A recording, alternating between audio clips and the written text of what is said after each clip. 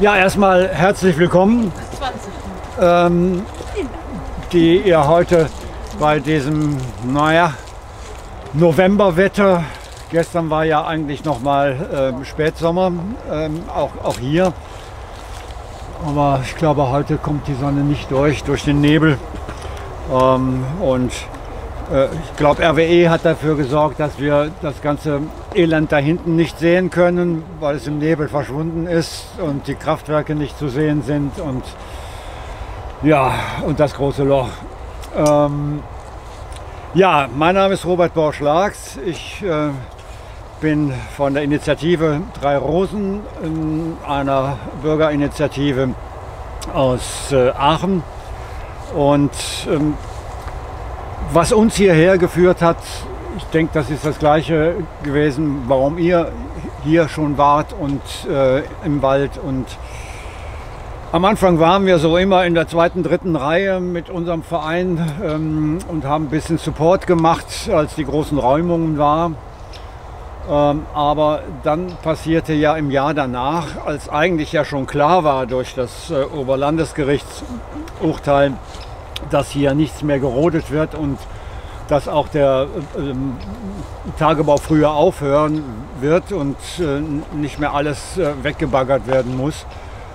Hat aber trotzdem RWE ähm, Fakten geschaffen 2019 und äh, da sind wir mal in die erste Reihe der äh, Organisationen gerutscht, die ähm, Hilfe gerufen haben.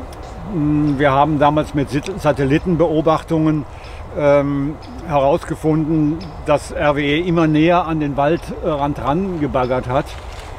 Und äh, Eva und Michael hatten uns alarmiert und wir haben dann recherchiert. Und ihr müsst wissen, da hinten, wo jetzt der Wald aufhört, da war die zum Tagebau hin orientierte letzte Rodung 2017 in, im, im Herbst. Ähm, und ja, davor war noch ein großes Vorfeld von mehreren hundert Metern, ähm, wo zwar keine Bäume mehr standen, wo aber immer noch die wertvolle ähm, Erde des Waldes noch vorhanden war. Das wäre eine tolle Voraussetzung gewesen für das, was äh, ja eigentlich dann jetzt auch kommen könnte, nämlich dass der Wald äh, sich wieder in Richtung von dem großen Loch äh, ausdehnen kann, erweitern kann.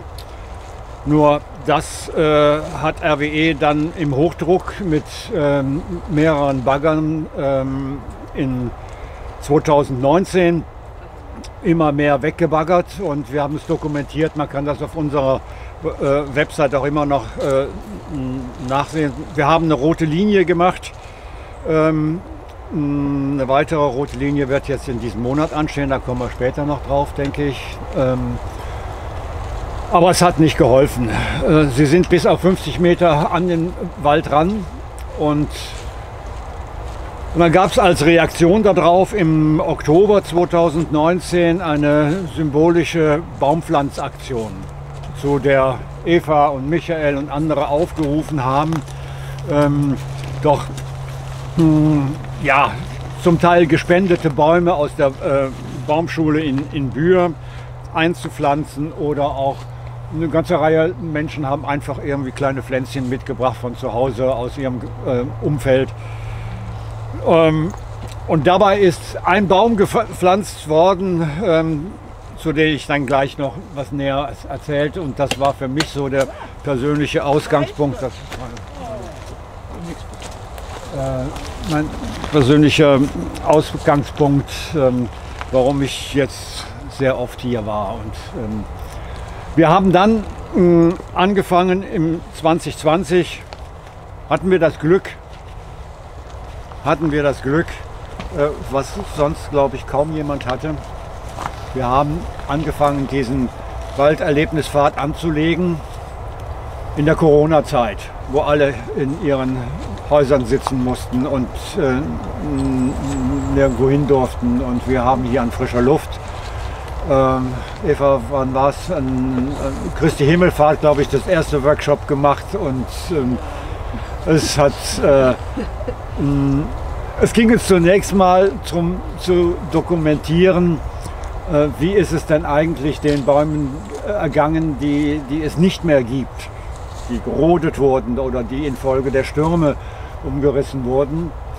Ähm, das ist ein Teil dieses Waldlehrfahrts der etwas anderen Art. Und das, der zweite Teil, das ist das, was ihr hier an den Infopoints seht. Das war die heiße Phase im Jahr 2020, mm, als wir hier angefangen hatten. Da hinten schon den, der Pavillon stand und äh, großer Poli Polizeieinsatz äh, und großer Einsatz mit schwerem Räumgerät. Ihr könnt es auf diesen Postern sehen, wo es darum ging, die Einsatzkräfte für die Einsatzkräfte ähm, mh, ja,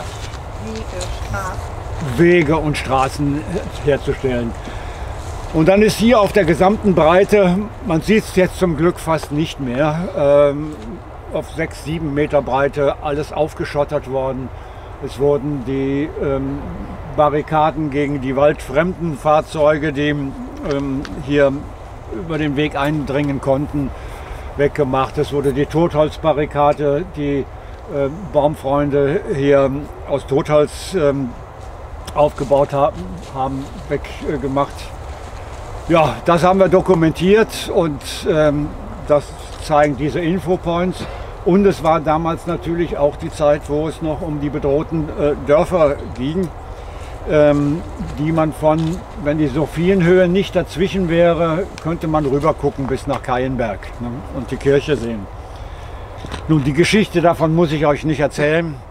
Äh, die kennt ihr alle. Ähm, die Dörfer sind gerettet und auch ein paar Feldhöfe. Lützerath, ähm, ja, ist Deswegen ist das Schild von Lützerath jetzt auch umgedreht und hat ähm, ein Kreuz bekommen. ja, und diese, und diese gelben Kreuze, die da stehen, ähm, die hatten wir damals zur Unterstützung der Mahnwache äh, gemacht und eine Kopie davon dann hierhin zur Erinnerung und zum äh, Verweis, dass es auch noch einen anderen problematischen Tagebau hier in der Region gibt. Ja, und dann würde ich mal sagen, können wir jetzt mal langsam uns ein bisschen bewegen und ähm, es gibt dann an manchen Bäumen irgendwelche Schilder und ähm, lass uns mal vorgehen und da steht dann so ein Fragezeichen.